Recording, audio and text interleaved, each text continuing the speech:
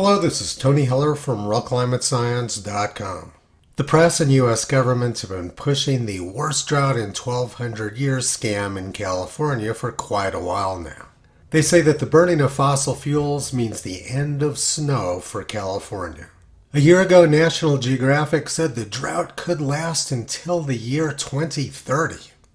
And just a couple of weeks ago, they were still insisting that California was experiencing a mega drought. Meanwhile, back in the real California, they're experiencing all time record snow. This doesn't look too much like a mega drought. Ski areas in California are struggling to stay open because they're getting too much snow.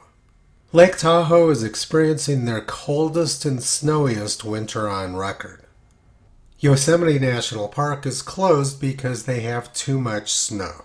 The press is starting to realize that nobody's buying their scam anymore, so now they're shape shifting the story.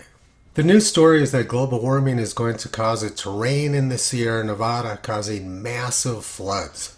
In a warmer climate, you might get more rain on snow at those higher elevations, said hydrologist Keith Musselman, an assistant professor at the University of Colorado in Boulder.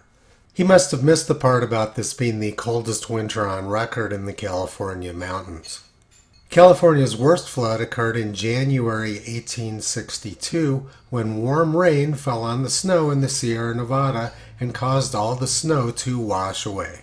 The catastrophe began with a snowstorm in the Sierra. In early December 1861, upwards of 15 feet of snow fell in California's eastern mountains. What followed, researchers believe, was a series of atmospheric rivers. For 40 days, they kept coming, bringing warm rain and high winds. All of the fresh Sierra snow melted, turning frozen creeks into raging rivers as the water poured downstream. Anyone who skis the Sierra Nevada knows that rain on snow is a very common event there, with the most famous occurrence being in 1960. The 1960 Winter Olympics at Squaw Valley, California almost had to be canceled because rain washed all the snow away ahead of the games. The key thing for the press and climate academics is to keep their scam alive and to keep the money coming in. Science, history, and reality never have anything to do with their agenda. Toto's been pulling back the curtain on this big money scam for the past 15 years. You can visit him, Kyrie Caesar, Toki Upla, and the four new puppies on the web at realclimatescience.com.